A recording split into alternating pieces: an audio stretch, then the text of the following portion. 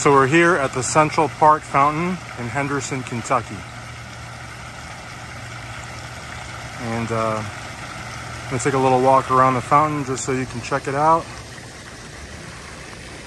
This is a beautiful, beautiful park.